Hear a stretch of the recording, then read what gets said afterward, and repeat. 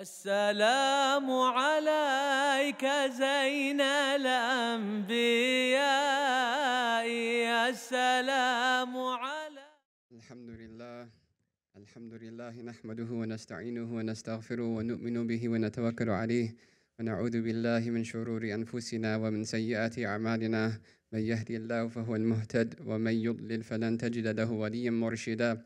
وتحسبهم اللهم صل وسلم على سيدنا محمد مفتاح باب رحمة الله عدد ما في علم الله صلاة وسلاما دائمين بدوام ملك الله وعلى آله وصحبه ومن والاه. أشهد أن لا إله إلا الله وحده لا شريك له وأشهد أن سيدنا وحبيبنا وقرة أعيننا وحبيب قلوبنا محمدا عبده ورسوله. اللهم صل وسلم عليه وعلى آله وصحبه أجمعين. أرسله الله بالهدى ودين الحق ليظهره على الدين كله ولو كره الكافرون. أما بعد فيا عباد الله إني أوصيكم ونفسي بتقوى الله. فقد قال الله تعالى في كتابه العزيز يا أيها الذين آمنوا اتقوا الله وكونوا مع الصادقين. الحمد لله. In our previous khutbah we discussed the realities of La ilaha illallah and the realities of La ilaha illallah are an ocean that can never be encompassed they are essentially the realities on which this entire creation is continuing. They are the realities on which that Allah subhanahu wa ta'ala has promised to keep the world continuing as long as there is someone on this world saying La ilaha illallah. And there is in no way, shape, or form is it possible for any created being to truly express the meanings of La ilaha illallah.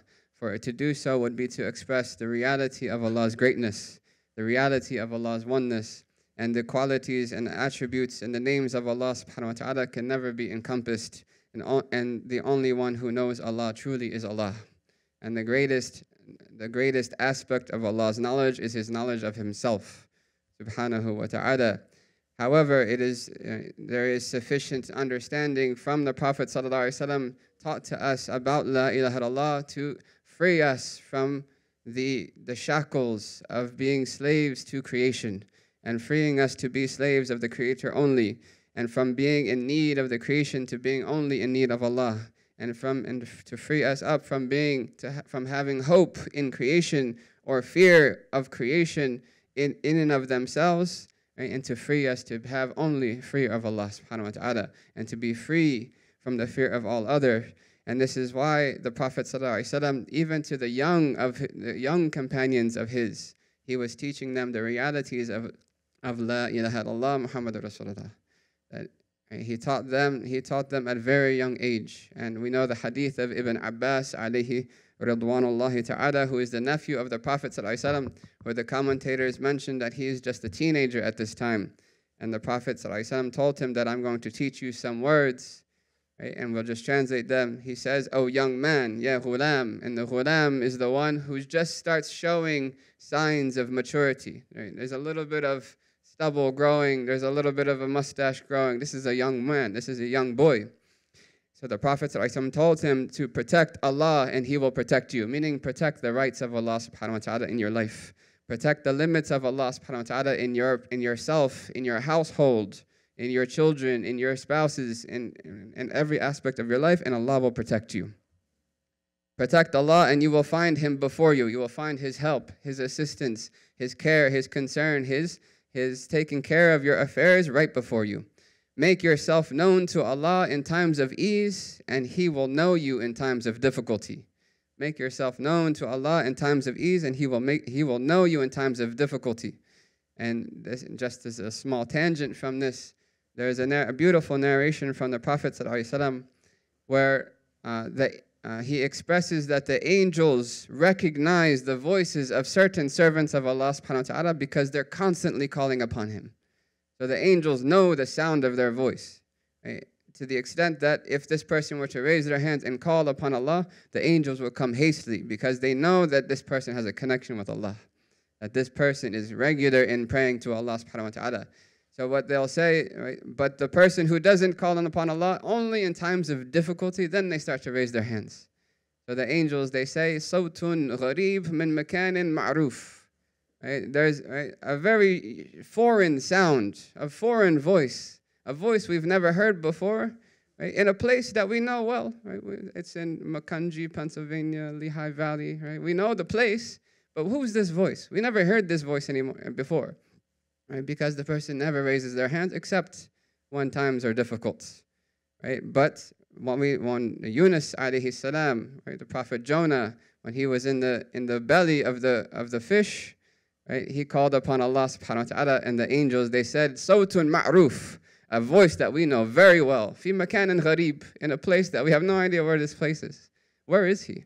Right? But they knew his voice very well because he was a person who was constantly calling on Allah in times of ease as well as times of difficulty. So uh, the Prophet is teaching Ibn Abbas, make yourself known to Allah in times of ease, and He will know you in times of hardship or in times of difficulty. Know that whatever afflicts you could never have missed you. Right? And whatever misses you could never have afflicted you. You didn't get that promotion, you didn't get that job, you didn't get that, uh, that acceptance into that college, it could never have happened because Allah subhanahu wa ta'ala decreed otherwise. And if something happens, someone gets sick or someone uh, loses a job or someone loses something that was beloved to them, it, it, could never have happened any other way. This is the decree of Allah subhanahu wa ta'ala, and there's a solace in that. And he continues, he says, And know that if the entirety of the creation were to gather to give you something that Allah did not decree to give you, they will never be able to do so. Or if they were to gather to avert from you something that Allah intended to afflict you, they will never be able to do so. So, what is the result? If a person has that type of certainty, they realize that everything is from Allah that everything is decreed by Allah and nothing in creation can happen, not even a leaf falling from a tree, not even a blade of grass blowing, except that Allah subhanahu wa ta'ala brought it into existence. Uh, unless Allah subhanahu wa ta'ala willed that thing to happen.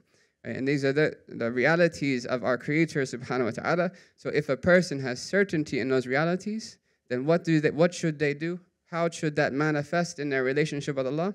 He tells Ibn Abbas, فَإِذَا سَأَلْتَ فَاسْأَلِ اللَّهِ So if you must ask, if you must ask for something, then ask from Allah. Then ask from Allah because the reality is that if you you can ask all of the creation, but if Allah didn't decree it, it's not going to happen. Right? And right, but if you ask Allah, right, He's the one who can cause. Who He's the one who can bring about what you need. Right? And He said, if you seek help, then seek it from Allah. Right? And know that victory is with patience and relief is with difficulty, and with every difficulty comes ease. these are lessons from the Prophet ﷺ to a very young boy. Right? Because the Prophet ﷺ nurtured their hearts. He nurtured their hearts to be able to understand these realities, and this is why they became who they became later on. This is why Ibn Abbas became one of the, the, the most deeply uh, well versed in understanding of the Quran. They call him Tarjuman al Quran. He is the interpreter of the Quran. Now, to, to, bridge this back to what we were discussing in our previous khutbah about the means, that Allah subhanahu wa ta'ala is the sole giver of all benefits, and He's the sole giver of all harm, because nothing can happen except that Allah decreed it right? But we may, even though we may see Allah's decree manifest in the world with cause and effect, with means.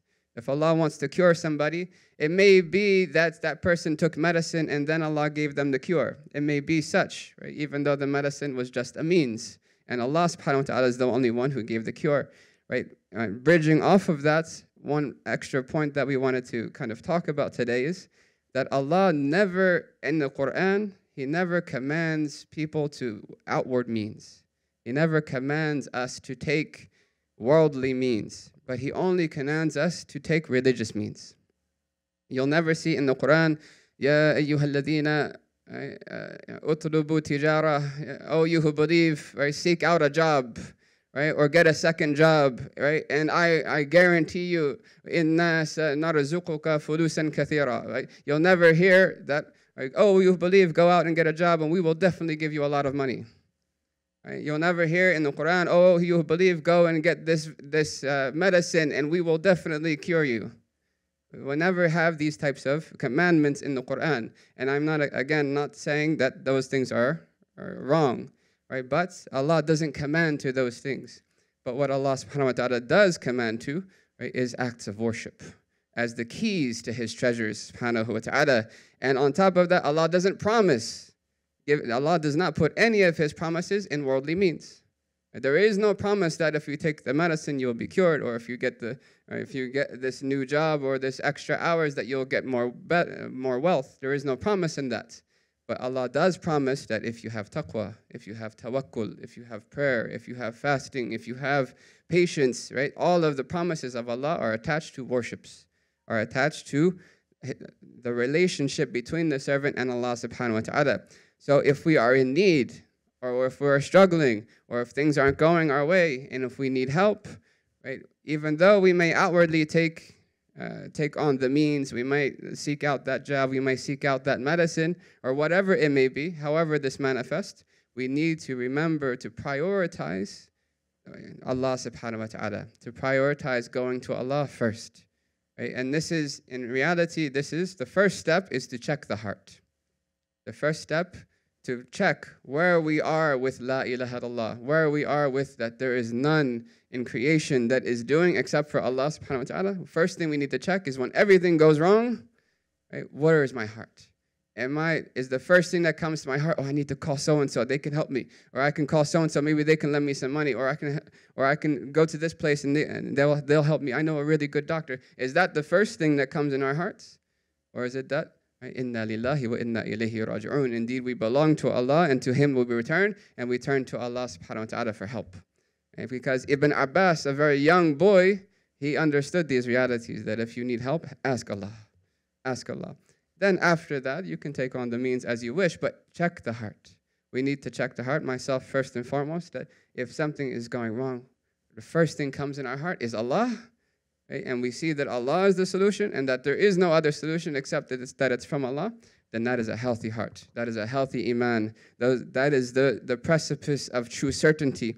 That is the path of the Messenger of Allah sallallahu alaihi wasallam. So we don't neglect the outward means. We're not going to sit there and just wait for our, our, our, our request to come about, but we must seek out first and foremost our, our heart being attached to Allah our certainty is on Allah, and then to find what are the religious means that the Messenger of Allah وسلم, taught us in this type of situation. If I'm having this difficulty, the Prophet said to do this. If I'm having this difficulty, the Prophet gave this dua, this supplication, or this act of worship to do, and that should be, we should have more conviction in that than anything else.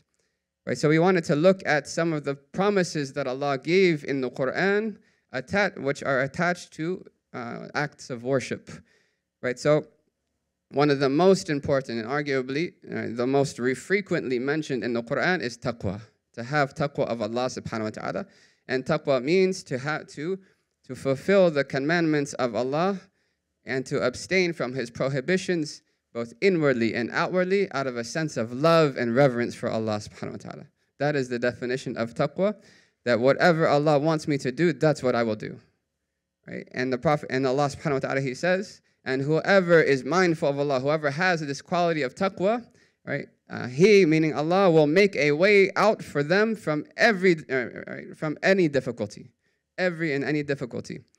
Right? One of the, the, the prophets at Islam, he described that if the entire sky was, was metal, and the, the ground was all metal, and the sun was blazing as hot as it possibly, I mean, metal is a conductor of heat, right? And you're trapped between these two things, and there's no way out Right? The Prophet explained that if the person had taqwa, Allah would give him a way out. Right? To that extent, sallallahu wasallam so the verse says that he will make a way out for them from every difficulty and provide them from sources they could never even imagine. Why? Not because of the means, but because of the means of taqwa. Because of having mindfulness of Allah subhanahu wa ta'ala. And one of the most uh, frequent times when we slip, when we start to disobey Allah, when we start to neglect the commandments of Allah or we start to fall into the prohibitions of Allah is when things go difficult and we see that those are the only means to achieve those things. But that thought is incorrect and it, it's indicative of a lack of certainty. Right? So if someone they lost their job, right? They they financially they're in stress, the, the bills are stacking up, right? Everything is difficult. Right? What what would they do? Oh, I can take I, I can get a part time job at this bar. Who is the provider? Right? Allah subhanahu wa ta'ala is the provider. Right? Or uh, if, I, if only I take this extra couple hours and I'll just miss Jum'ah for a couple months and then I'll be fine after that. Astaghfirullah. Right? This is right? the missing of Jum'ah is one thing, but what is the state that that is pointing towards? What is the state that's in our heart that's making us do those things? Right? And these are, these happen uh, quite often. And the Prophet he said, do not allow any delay in your provision, cause you to le- seek it in the haram, in that which is forbidden by Allah subhanahu wa ta'ala. Whereas Allah says that whoever is mindful of Allah, whoever says, no, I will never I will never disobey Allah subhanahu wa ta'ala. Only Allah can call, solve my situation. And it is inconceivable that Allah will help me by my disobeying Him. Right? If whoever has that mindset, Allah will give them a way out from every difficulty and provide them from sources they could never imagine. And Allah says, right, and whoever puts their trust in Allah, He alone is sufficient for them. Certainly, Allah achieves, achieves His will. Allah has already set a destiny for everything. Right? So the first and most important is to have taqwa of Allah subhanahu wa ta'ala, right? Especially in difficulty. And that is the definition of sabr. The definition of patience is not just to wait for the difficult thing to stop, to, to end. Right? Patience is to, to live a life of taqwa even when things are difficult. To only do that which is pleasing to Allah, even when things are hard. Uh, the second is doing more good deeds. Things are going difficult. Right? We need to check. Right? Maybe I'm, I'm lacking in my good deeds. Maybe I'm lacking uh, in my acts of worship. The Prophet talked about uh, a person who Allah has destined for them a very high level in paradise, but their deeds were not enough to get them there. Right? So Allah subhanahu wa ta'ala will, will give them tests and tribulations in this world so that they will raise in their ranks to get to that station. Right? However, if they were to do more good deeds, right, they would have gotten to that place without the tribulations. Right? So, uh, and this is uh, very common that people have problems with their spouse, there's trouble in the house, things aren't going well, everything's wrong. We need to check how is our acts of worship. Because the more acts of worship, right, the, Allah subhanahu wa ta'ala says, whoever does good, whether male or female, is a, and, and is a believer, we will surely bless them with a good life with a good life, the, the good life that everyone is imagining, everyone is seeking, but they're seeking it in other ways than the way that Allah has promised. Right? The way that Allah has promised is good deeds and faith. Right? And He says that we will surely bless them with a good life, hayatun tayyiban, a, a good life, and we will certainly reward them according to their best, the best of their deeds. Another means that Allah subhanahu wa ta'ala and His Prophet can command us to is to unite our concern, to make our concerns one concern. And the Prophet ﷺ, he said that whoever makes their concerns one concern, then Allah subhanahu wa ta'ala will suffice them all of their other concerns. Eh, if we had time to list out all of our concerns, we all have a lot of concerns. Right? Financial concerns, medical concerns, family concerns, children concerns, and that's a big one, right? You have a sub list on that one. It's many bullet points, right? So many concerns in this world, especially with the changing of times and especially with this pandemic and concerns, right? Uh, a list that we don't see any foreseeable end to, right? But the Prophet ﷺ is promising us, and these are promises from the words of the most truthful of all who, all creation, the Prophet ﷺ. He said that whoever makes all of their concerns and just unifies it to one, right? Leave everything aside and make your only concern the hereafter. How will I fare on the day of judgment? Right? How will I fare when my soul comes out of my body and I am put into my grave and I'm all alone and all that I have with me is my deeds, the deeds that I did in this world? If that is our sole and only concern, Allah will take care of everything else. Allah will take care of the children. Allah will take care of the finances. Allah will take care of the health. Allah will take care of the society. Right? If we turn back to Allah subhanahu wa ta'ala. Right? And one last uh, hadith that uh, regarding another means for provision, right? Or for the Prophet promised that whoever desires that his provisions be expanded, that not necessarily more in amounts, but the, the barakah, the blessing that's in one's provision, that a little bit will go a lot longer away. Sometimes we get paid, right, and it just seems like it's gone right away. What happened? Right? The same, and then sometimes that same amount, and somehow at the end of the month, there's still more left. We, we, we got groceries twice, we got this, we got that, and there's still more. Right? That's called barakah. That's called barakah. And the word barakah is a beautiful word in Arabic. Uh, they, the word barakah comes from when a camel would lay down. So if a camel lays down, it's called barakat naqa. Right? The camel has laid down, it's called barakah. So even a skinny camel, when it would lay down because its stomach would press against the ground, it would look bigger than it really is. Right? So it's not actually big, but it, it, it looks bigger, it perceives bigger. Uh, it's perceived bigger. Right? So this is what Allah subhanahu wa ta'ala does to your wealth. Allah does it with your knowledge. Allah does it with your lifespan. That He will give, it'll be the same number, right? But there's so much more benefit in it. Right? So the Prophet said that whoever desires that his provisions be expanded and his lifespan be extended, then let him join his family ties. Right? Things are money is tight, things are not adding up, right? Uh, health problems and everything. Right? How is my relationship with my mother? And when's the last time I reached out to my mother? When's the last time that I, I, I, spoke to my uncles or my aunts? When's the last time I reached out to my sibling who we've been uh, beefing with for a while now and uh, we kind of cut each other off? And then all of a sudden, if we thought about it, that's when all the tribulation started, right? Because we broke those ties. Right? And this is, right, Allah repeats many times in the Quran that they يَقْطَعُونَ مَا أَمَرَ اللَّهُ بِهِ يُصَلْ That they cut off that which Allah commanded to be joined, which is the family ties. Right? And even if it's just reaching out with a salam, assalamu alaikum, how have you been? How, I haven't seen you in a while, or to bring a gift, or to send, uh, to send a gift. And these things bring a blessing because Allah has attached His promises of assistance for His servant in these acts of worship. And we know that the Prophet ﷺ lived these realities to the fullest extent. He, ﷺ, as they describe him, إِذَا هَمَّهُ الْأَمْرُ فَزِعَ إِلَى الصَّلَاةِ That when any matter concerned him, any issue happened, or something went wrong, he turned right to salah. Immediately he went to the masjid. Immediately he said, Allahu Akbar. And we just mentioned one quick story. The Prophet ﷺ, and this happened on multiple occasions, but this specific occasion was quite intense. He did not have any food, وسلم, and he went to each of the houses and he asked for food from his family, and they said that we have nothing. And normally he would say, "Okay, inni idan sa'im," right? Uh, I'm going to fast in that case. But this day, it was already four. It was the fourth day that he had no food whatsoever, right? So he said, he said to Sayyidah Aisha, his wife, our mother Aisha, he said, I'm going to the masjid to ask my Lord. Right? This is his this is was his reality, وسلم, and his example.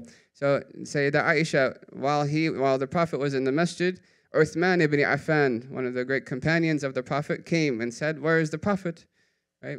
And Aisha said he's in the masjid. He, uh, he was in extreme hunger. He couldn't wait anymore, so he started to ask Allah.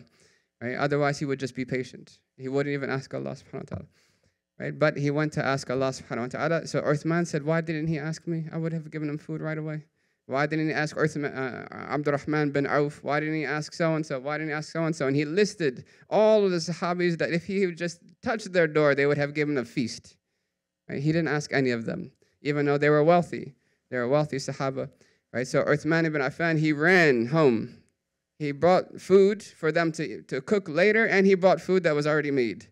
And then the Prophet came back, and he, he walked in the house, and he said to Aisha, Where is this food, food from?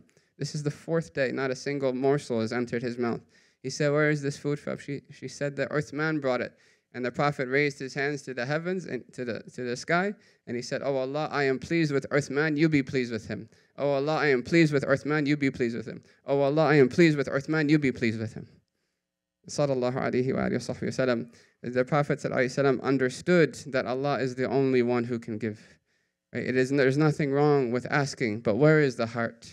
Where is the heart?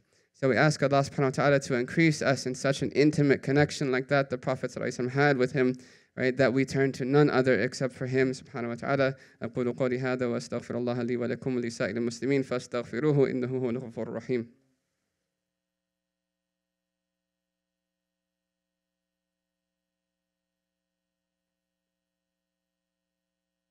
الحمد لله الحمد لله رب العالمين والصلاة والسلام على سيدنا محمد وعلى آله وأصحابه ومن تبعهم بإحسان إلى يوم الدين وعلينا معهم وفيهم برحمتك يا أرحم الراحمين أشهد أن لا إله إلا الله وأشهد أن محمدا عبده ورسوله يا عباد الله إني أوصيكم ونفسي بتقوى الله أما بعد Alhamdulillah, amongst the beautiful gifts that our Prophet ﷺ gave us is two things.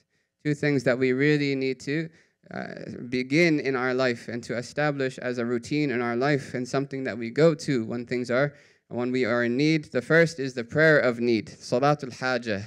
And the Prophet ﷺ taught the companions that if he said, Sallallahu uh, that whoever has a need of Allah or of any of the children of Adam, meaning humans, right, let them perform the ablution, the pre-prayer washing, right, and do so well, and then pray two units of prayer.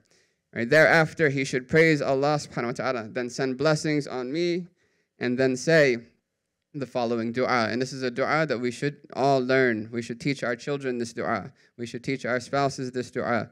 Right? The, and the translation is, right, uh, the one, uh,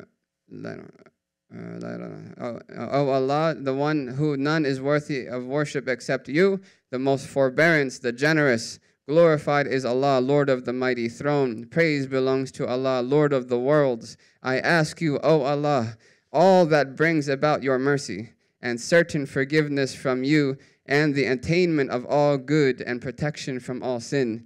Do not allow any sin of mine to remain except that you have forgiven it, nor any worry except that you have removed it and no need, and this is when the person mentions that need, and no need which is pleasing to you except that you have fulfilled it, right? And another narration, and you have made it easy for me, O, merc- o most merciful of all.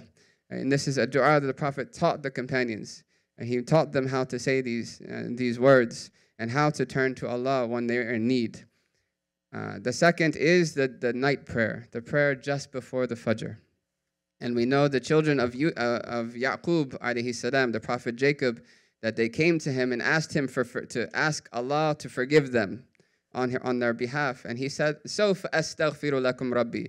Eventually I will do it. And the scholars mentioned that why did he say sawfa? Eventually. He, they said that he wanted to wait until the last third of the night during his tahajjud prayer, until during his night prayer. Right? Because of the blessing time uh, that is there, the Prophet said, uh, that the mercy of your Lord, blessed and exalted is He, descends to the lowest heaven when the last third of the night remains. And He says, Allah says, Who will call upon me that I may respond to their call? Who will ask me that I may give them? Who will seek forgiveness from me that I may forgive them? Right? This is a this is an offer from Allah subhanahu wa ta'ala that happens every single night. Anyone has a need, wake up for tahajjud. Anyone has a difficulty, wake up for tahajjud. Even if it's not your need, it's a need of someone who you love, a need of someone you care for, a need of someone who is close to you. Then turn to Allah subhanahu wa ta'ala and ask Him. And Allah promises that whoever calls upon Him with sincerity, that He will answer their call and He will give them that which they want and way beyond what they want, beyond what they want. So we ask Allah subhanahu wa ta'ala uh, to, to be of people whose conviction and reliance is in the Lord of the worlds, the creator of the heavens and the earth, and not anyone in creation. إن الله وملائكته يصلون على النبي يا أيها الذين آمنوا صلوا عليه وسلموا تسليما اللهم صل وسلم على سيدنا محمد وعلى آل سيدنا محمد كما صليت على سيدنا إبراهيم وعلى آل سيدنا إبراهيم إنك حميد مجيد اللهم بارك على سيدنا محمد وعلى آل سيدنا محمد كما باركت على سيدنا إبراهيم وعلى آل سيدنا إبراهيم إنك حميد مجيد. ورضي الله تعالى عن عن سادتنا الخلفاء الراشدين أبي بكر وعمر وعثمان وعلي وعلى جميع ساداتنا الصحابة الكرام وأهل بيت رسول الله صلى الله عليه وسلم المطهرين من الأرجاس. وعلينا معهم وفيهم برحمتك يا أرحم الراحمين يا أرحم الراحمين يا أرحم الراحمين. اللهم اغفر لي للمؤمنين والمؤمنات والمسلمين والمسلمات الأحياء منهم والأموات Oh Allah, we turn to you in absolute desperation with our hands spread out in humility, begging you to fulfill our worldly, religious, and spiritual needs in this world and the next for everyone present here today and everyone listening, and our families and our loved ones, our children, our parents, and all the Muslims in the world. And we ask you on behalf of those who have not yet seen the true beauty and the light of Islam, that you fulfill their need of a connection with you by guiding them to Islam and toward the fulfillment of their life's purpose. And we seek in you, Allah subhanahu wa ta'ala, your divine pleasure and by following the footsteps of the Prophet sallallahu alaihi wasallam right, to attain the blessings of this world and of the next. Ya Arhamar Rahimin, Ya Arhamar Rahimin. Inna Allah ya'muru bil adli wal ihsani wa ita'i dhil qurba wa yanha 'anil fahsha'i wal munkari wal baghi ya'idhukum la'allakum tadhakkarun. واذكروا الله العظيم يذكركم واشكروه على نعمه يزدكم ولذكر الله أكبر والله يعلم ما تصنعون أقيم الصلاة Thank you for watching one of Al Maqasid's online educational offerings. Our mission at Al Maqasid is to cultivate holistic learning environments rooted in knowledge, devotion, and service. For more information, please visit our website at almaqasid.org and connect with other online content at almaqasid.org/connect.